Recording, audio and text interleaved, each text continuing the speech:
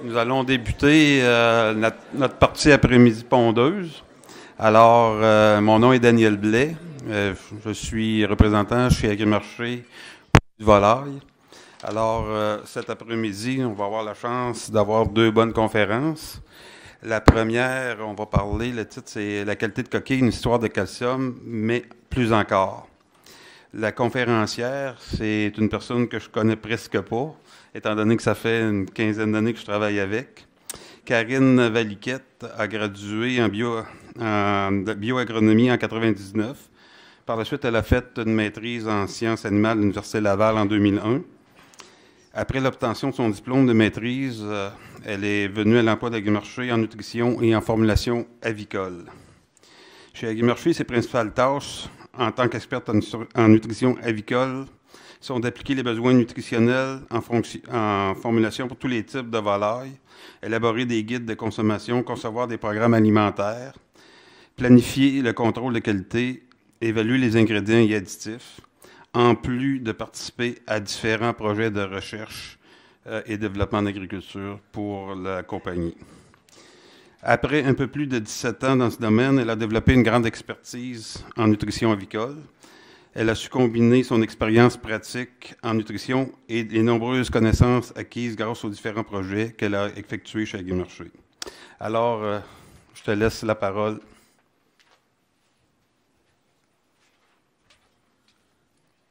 Euh, est-ce que vous m'entendez bien? Oui.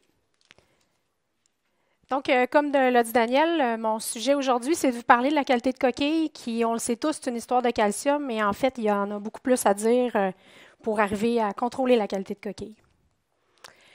Donc, euh, je vais vous présenter un petit peu un aperçu de l'évolution de nos poules pondeuses. Ensuite, je vais faire un peu de théorie, principe de formation de la coquille, la réserve de calcium qui est l'os médulaire. ensuite, je vais parler vraiment plus d'alimentation, calcium, vitamine D, euh, l'alimentation par phase et aussi la régie d'alimentation de la poulette de remplacement qui est très importante. Donc, nos poules, elles ont bien changé en 50 ans.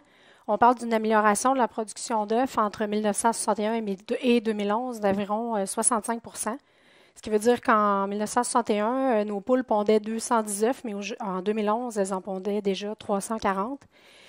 Évidemment, pour pondre autant plus d'œufs que ça, ben, les poules ont changé dans les, les, dernières décennies. Ils ont des besoins en calcium qui ont augmenté. Puis aussi, en même temps, ben, l'amélioration génétique, puis en même temps, toute la, recherche qui se fait au niveau de la nutrition puis de l'efficacité alimentaire a fait que nos poules aussi ont amélioré leur efficacité alimentaire, ce qui veut dire que la consommation d'aliments a changé aussi.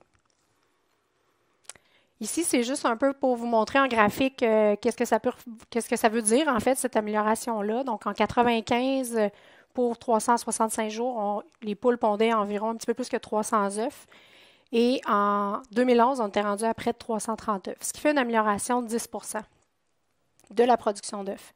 Mais au même moment, pour les mêmes années, euh, le nombre de kilos requis pour produire une douzaine d'œufs est passé d'un peu plus de 1,4 kg en, 1995 à euh, à peu près 1,25 kg pour produire la même douzaine d'œufs en 2011. Donc, tous ces changements-là que nos poules ont vécu, ben, ça fait en sorte que leur nutrition est un petit peu différente, puis on n'a pas affaire aux mêmes poules qu'on avait affaire il y a 40-50 ans. Donc, parlons un peu du principe de formation de la coquille. Je vous, je vous le montre ici en étape de formation de l'œuf, surtout en ce qui a trait au dépôt de la coquille. Les premiers six heures euh, de formation de l'œuf, il y a très peu de coquilles qui se fait déposer. Donc, c'est surtout euh, sécrétion de l'albumène, la membrane de la coquille, tout ça se forme dans les premiers six heures. Ensuite, dans le, deuxième quart, et là, on voit qu'il commence à avoir un peu plus de dépôt de calcium. On parle de 400 mg. Puis c'est dans le 12 à 18 heures qu'il y en a le plus. Euh, puis pour finir, un petit peu encore de dépôt avec un 500 mg pour un total de 1,7 à 2 g euh, de calcium déposé. Si on prend les mêmes informations, on le ramène dans le graphique, ce qu'on voit, puis là, j'ai rajouté la période de noirceur de la poule. Puis, dans le fond, le graphe vous met les. ils ont calculé, ils ont mesuré, en fait, les cendres qu'on peut retrouver, euh, les cendres dans la coquille qu'on peut retrouver, donc le dépôt calcaire. Puis, ce que vous pouvez voir, c'est qu'entre 12 heures et 18 heures, il y a vraiment beaucoup, beaucoup de coquilles, beaucoup de calcium qui se dépose sur la coquille. Puis, ça coïncide exactement aux périodes de noirceur qui est la nuit, au moment où la poule ne consomme pas d'aliments. Donc, puis ça a toujours été comme ça. Donc, la poule a développé, dans le fond, naturellement des mécanismes pour arriver à former de la coquille malgré le fait que euh, ça se passe la nuit quand elle ne mange pas d'aliments et qu'elle dort. Donc, ça veut dire que l'heure des repas joue un rôle quand même assez important pour nos poules pondeuses. Euh, le pic des besoins en calcium, puis ça, c'est toutes des informations qui ont été mesurées au niveau euh, littérature par des chercheurs. Donc, le pic des besoins en calcium commence en fin de journée, puis coïncide avec le début de la calcification de la coquille. Donc, quand elle se met vraiment déposer du calcium, ils ont mesuré, en fait, à travers différentes études, que vraiment la poule a un appétit pour commencer à manger du calcium précisément. Ce qui fait qu'en fin de journée, elle cherche à manger plus de calcium. Ce que ça veut dire aussi, c'est que si on est en aliment texturé, où est-ce qu'on peut aller trier et choisir ses, ingrédients, ben, en fin de journée, elle va trier puis aller chercher des particules de calcium. Ce que ça veut dire aussi, c'est que si on donne un aliment granulé ou cubé à ces mêmes poules-là, comme elles veulent plus de calcium, elles vont carrément manger plus d'aliments pour aller chercher leurs besoins en calcium. Donc, généralement, c'est ce qui fait qu'on voit plus souvent dans la poule pondeuse des aliments texturés que des aliments cubés parce que les, aliments cubés euh, feraient en sorte qu'ils mangeraient beaucoup plus, euh, pas nécessairement pour leurs besoins, juste pour aller chercher le calcium. Parlons un petit peu de la réserve de calcium que la poule euh, a, c'est-à-dire l'os médulaire. C'est un, os qui est unique aux poules pondeuses adultes. Il est de type spongieux, puis remplace la moelle dans le milieu de l'os. Il se forme lorsque la, poulette atteint sa maturité sexuelle à l'arrivée des hormones. ça se compose de phosphate de calcium, c'est une réserve d'un peu moins d'un gramme qu'elle a à l'intérieur de ses os. Puis, évidemment, ça contribue à la formation de la coquille. C'est quoi son mode d'action? En fait, le calcium qui est contenu dans l'os est libéré. Au même moment, il y a une libération, comme c'est du phosphate de calcium, il y a du phosphore aussi qui est libéré au même moment que le calcium lait, qui est donc qui sort de l'os. Puis ce phénomène-là survient le soir et la nuit lorsque la poule dort. Donc, c'est un, des mécanismes qu'elle a développé pour arriver à faire ses coquilles au moment où elle, ne mange pas. Et euh, donc, c'est ça, ça se forme durant la nuit, euh, puis ça permet de, de faire la coquille, d'aider à faire la coquille. Ben, l'impact, en fait, que ça peut avoir, euh, l'os médulaire, lorsqu'il excrète ces deux particules-là, le calcium et le phosphore, ben, le phosphore, lui, est en grande partie excrété dans l'urine, donc rejeté parce qu'il n'est pas aussi nécessaire que le calcium pour former les coquilles. Le calcium, lui, est en très grande partie, à 80% utilisé pour faire les coquilles. Mais ce que ça veut dire aussi, c'est que ça prend du calcium et du phosphore à tous les jours pour regarnir l'os médulaire, pour s'assurer de ramener ce calcium et ce phosphore-là dans l'os, pour s'assurer que la nuit suivante, on va être encore capable d'aller puiser dans ces réserves-là. Puis donc, ça prend un apport en calcium et phosphore qui est soluble, qui est facilement accessible à la poule, puis il faut aussi avoir un beau ratio, un ratio calcium-phosphore qui est optimal pour permettre à ces deux éléments-là de, retourner à l'os euh, jour après jour. Ici, je vous montre un graphique que j'ai tiré d'un livre qui montre en fait où s'en vont les particules de calcium et de phosphore lorsqu'elles sont ingérées. Donc, euh, on parle d'un 4000 mg de calcium à 600 mg de phosphore qui sont ingérés, ce que vous voyez, c'est qu'il y en a tout le temps un 100 mg qui est envoyé à l'os médulaire, autant pour l'un que pour l'autre. Puis, on a une bonne partie, dans le cas du calcium, qui est envoyé à l'œuf, puis dans le cas du phosphore, qui est euh, peut-être un 100 mg. Donc, il n'y en a pas tant que ça de phosphore qui s'en va dans l'œuf.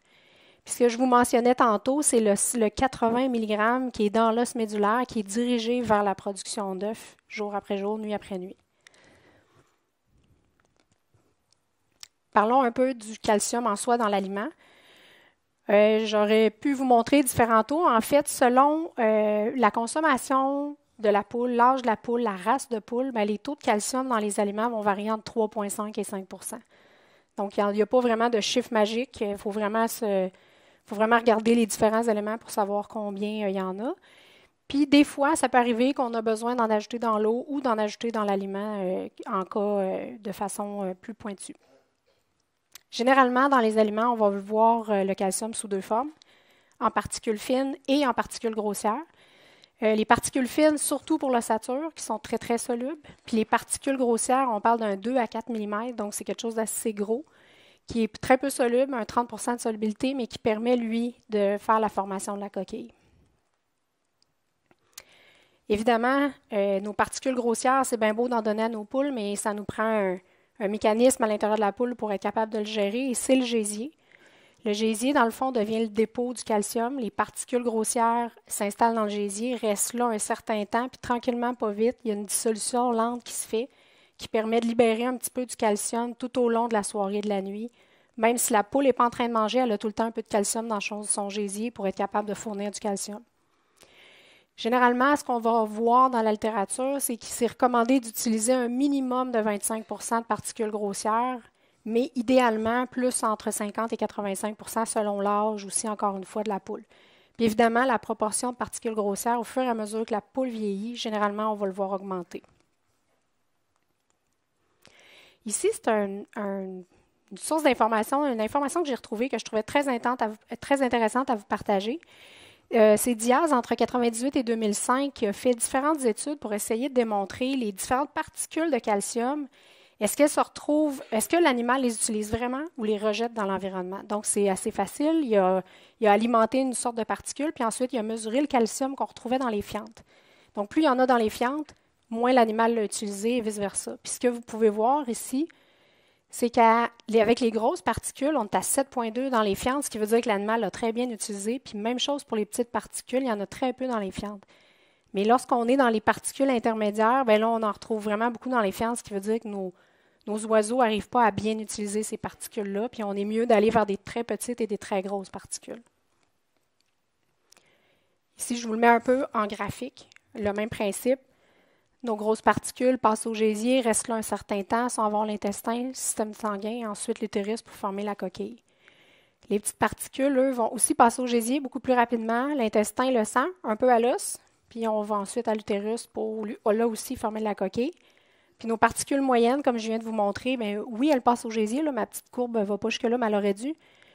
Mais ensuite, quand ils sont à l'intestin, ils sont généralement dirigés ensuite vers les fientes. On ne les verra pas se, rendre à l'utérus ou se rendre à l'os. La vitamine D, c'est un autre euh, élément nutritif dont on entend souvent parler en poule pondeuse, calcium, vitamine D. C'est quoi en fait son rôle, la vitamine D? Bien, ça augmente le calcium et le phosphore dans le sang. Euh, ce qui permet de supporter le processus de minéralisation de la coquille. En fait, lui, ce qu'il fait, c'est qu'il transporte les minéraux à travers la membrane intestinale, ce qui permet l'absorption du calcium et du phosphore dans l'os médulaire.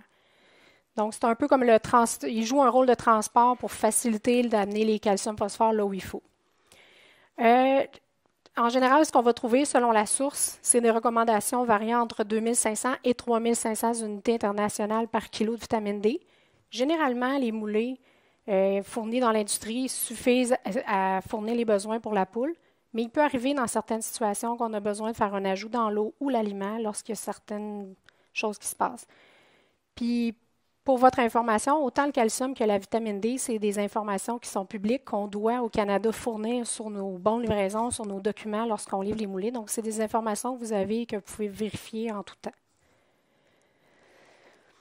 L'alimentation par phase. Donc, c'est important le calcium, c'est important aussi la vitamine D, mais l'alimentation par phase, elle aussi, joue un rôle important dans le contrôle de la qualité de vos coquilles. L'objectif est bien évidemment de changer, les moulées au fur et à mesure que la poule euh, vieillit, elle évolue. Donc, en début de ponte, généralement, ce qu'on va voir dans les aliments de début de ponte, c'est plus de protéines, plus d'acides un petit peu moins de calcium, un petit peu moins de calcium grossier. Puis plus on avance dans les phases alimentaires de, poules pondeuses, donc quand on arrive vers la fin de ponte, là, on va voir qu'il y a moins de protéines et, aminés, plus riche en calcium et en calcium grossier.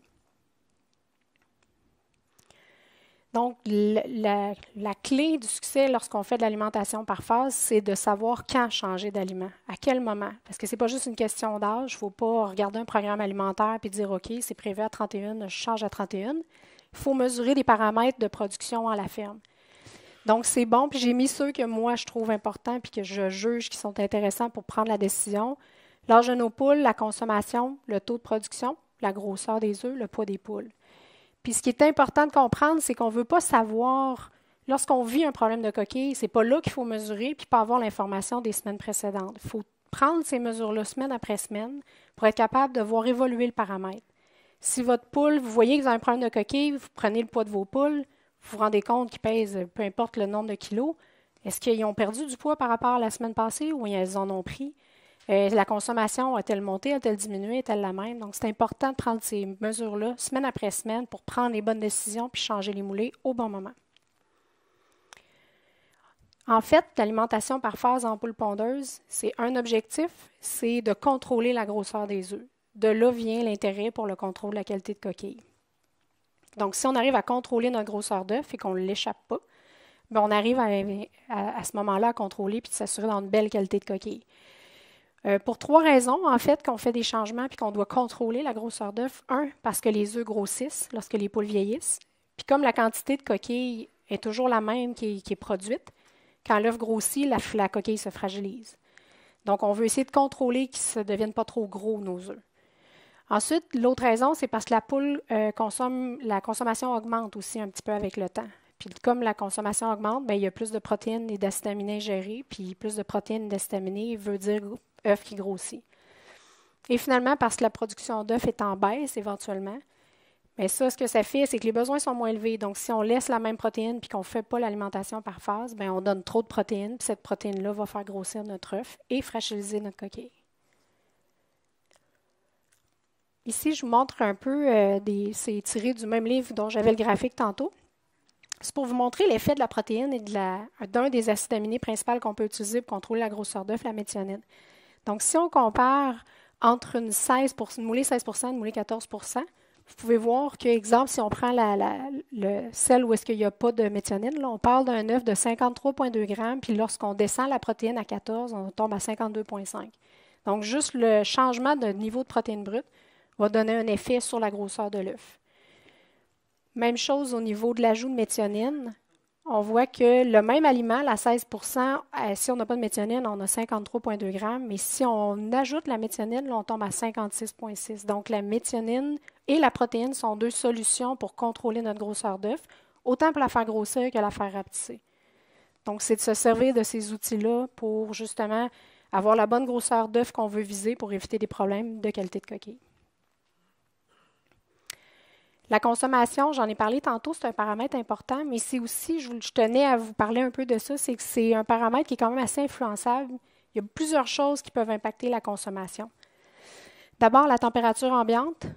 Euh, selon la source que je vous ai mis là, un degré Celsius représente environ un gramme par poule par jour. Donc, si notre poulailler est plus chaud d'un degré, bien, on va avoir une consommation probablement un gramme par poule par jour inférieure, puis vice-versa si la température est plus basse. Euh, une autre affaire qui peut influencer beaucoup la consommation, le taux d'emplement.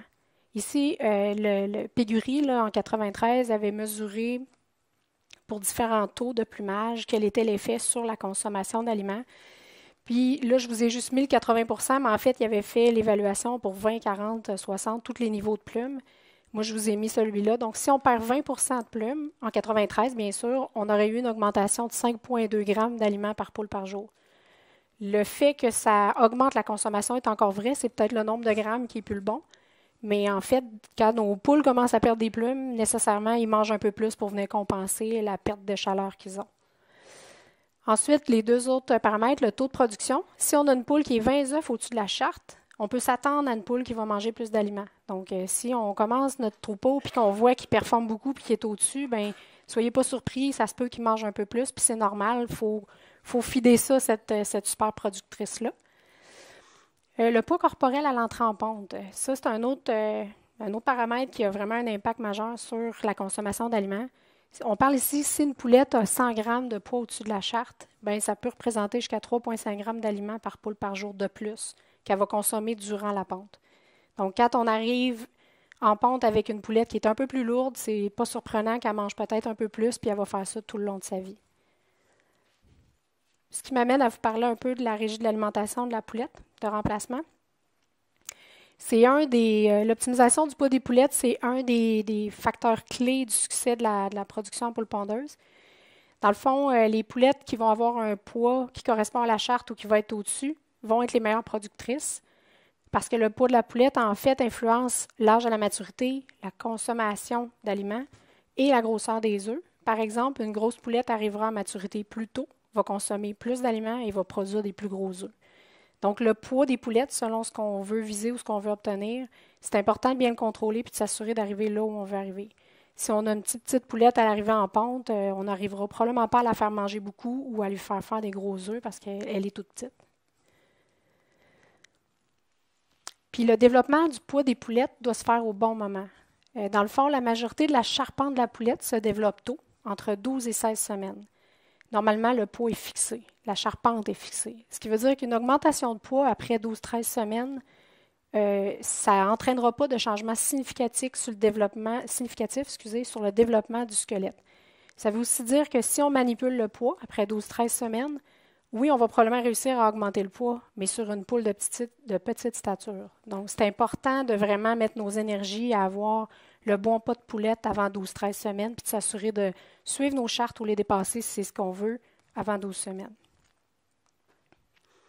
Un programme alimentaire en poulette de remplacement, euh, les âges vont probablement varier d'une lignée de poule à l'autre, mais ça se ressemble pas mal toutes. Euh, puis le changement de phase doit se faire selon le poids de la poulette en comparaison avec la charte. Donc, généralement, ce qu'on voit, c'est un début de 0 à 6 semaines, une croissance entre 6 et 10. Ensuite, une moulée de développement de 10 à 16 semaines. La moulée de développement, son contenu est plus élevé en fibres, moins dense en protéines, ce qui permet de développer la capacité d'ingestion de la poule. Ensuite, souvent, on va finir avec une préponte qui va se donner de 16 semaines, de 16 semaines à peu près, tout dépendant, jusqu'au premier œuf, environ une dizaine de jours. L'objectif de cet aliment-là, c'est de donner un contenu en, en calcium un peu plus élevé pour euh, établir la réserve de calcium dans l'os médulaire puis pour être prêt pour euh, soutenir la ponte. Ce qui m'amène à vous parler un peu de la partie économique. En fait, je viens de vous donner différents éléments qui peuvent impacter votre qualité de coquille. Ici, ce que j'ai voulu calculer, c'est si on, fait une belle alimentation par phase, on a ajouté du calcium, de la vitamine D, tout ce qu'il fallait pour que notre qualité de coquille soit belle, puis qu'on arrive à améliorer notre pourcentage de failés. Ici, j'ai pris une, base de 330 œufs. Si j'améliore d'un pour cent mes œufs failés, donc euh, je, les baisse d'un pour cent, puis donc euh, je me retrouve avec 1% normalement d'œufs extra gros, parce que généralement, après l'extra gros jumbo, on tombe dans le failé. Donc, si on améliore euh, nos, nos failés, on devrait avoir un peu plus d'extra gros. Ça représente pour 10 000 poules environ 4 500 par année de plus. Donc, c'est super intéressant de, contrôler, de faire quelques petites manœuvres pour contrôler notre qualité de coquille. Ici, je vous ai mis à titre d'exemple différentes choses qu'on peut faire durant l'élevage lorsqu'on voit différentes choses se produire pour contrôler la qualité de coquille, puis les coûts que ça peut engendrer. Donc, si, exemple, on fait un ajout de 5 kg de pierre à chaud, ça représente 3 par semaine de traitement. Donc, pendant une semaine, on met 5 kg de pierre à chaud dans, la tonne de moulée pour les 10 000 poules, encore une fois. Ça veut dire un 3 Fait que si on décide qu'on a besoin durant la toute l'année de ponte de peut-être une trentaine de semaines où on ajoute de la pierre à chaud, ben ça nous a coûté 90 C'est pas très cher. Si on va un peu plus loin, on décide que ah on veut aller jusqu'à la vitamine D, qui est aussi un élément qu'on peut ajouter dans l'aliment ou dans l'eau pour venir contrôler. Moi, ici, les coûts que je vous ai mis, c'est des, des coûts au niveau de l'aliment, évidemment, étant donné que je travaille dans une meunerie. Euh, donc ici, si on parle de vitamine D, c'est un peu plus cher, 20 par semaine. Mettons qu'on dit que dans le cas de la vitamine D, on en met un peu moins souvent, une quinzaine de semaines de traitement dans l'année. Ben, c'est quand même seulement 300 dollars. ici, au total, on a peut-être dépensé 400 dollars alors qu'on a fait 4500 dollars. Fait qu'on est encore en, profit. Fait ça vaut la peine de prendre le temps d'investir un peu dans les pondeuses pour s'assurer de baisser ces failles-là puis d'aller chercher les revenus.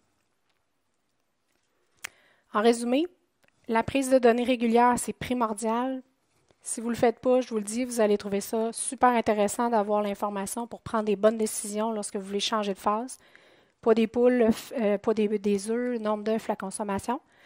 L'alimentation des poulettes est aussi importante que l'alimentation des poules, donc euh, à ne pas négliger.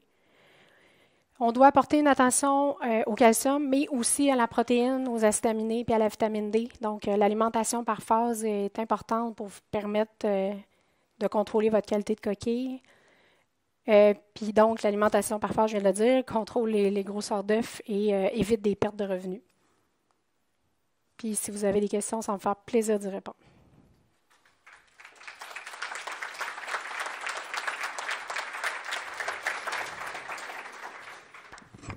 Alors, merci Karine. Euh, s'il y a des questions pour des raisons de traduction, on vous demanderait d'aller au micro. Alors. La parole est à vous si vous avez des questions.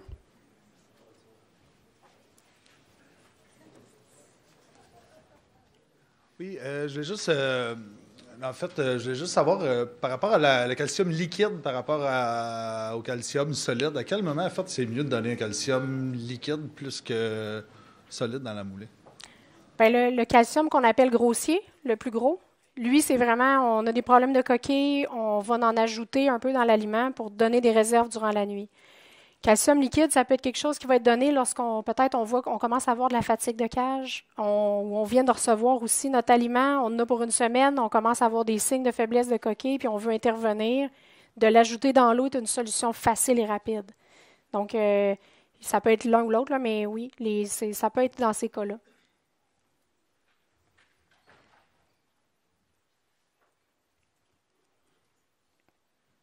Oui, merci pour la présentation. Euh, ma question est, le focus a été mis sur le calcium et le phosphore. Euh, est-ce que vous croyez qu'il y a une importance avec certains autres minéraux et certains autres oligo-éléments, toujours dans le but de maintenir une meilleure qualité de coquille, Vous en rapport dire- avec le- la productivité qui est accrue et les performances qui sont meilleures maintenant que les troupeaux qu'on a par rapport à il y a 10 ans? Euh, donc, nutritionnellement parlant, est-ce qu'on doit focuser sur autre chose que le calcium et le phosphore? Vous voulez dire dans l'alimentation? Oui, oui, tout à fait. Oui. Euh, oui, on, voit de plus en plus de littérature sur différents oligo-éléments qui peuvent apporter euh, un surplus de, de- de qualité. Exemple, on peut voir des fois de la littérature sur le zinc ou des choses comme ça, où est-ce que ça pourrait apporter euh, des bénéfices? Oui, ça peut être un cas. Mais généralement, la raison pour laquelle j'ai parlé un peu plus des autres paramètres, c'est que c'est des paramètres qu'un producteur peut facilement contrôler à la ferme, c'est-à-dire changer son aliment, mettre du calcium, mettre de la vitamine D. Des fois, les oligo-éléments, ça peut être un peu plus dur de faire des ajouts. euh, ça peut être plus dispendieux ou moins disponible. donc, euh, c'est un peu pour ça que la conférence faisait plus le focus sur les autres éléments. Mais oui, ça donne des solutions.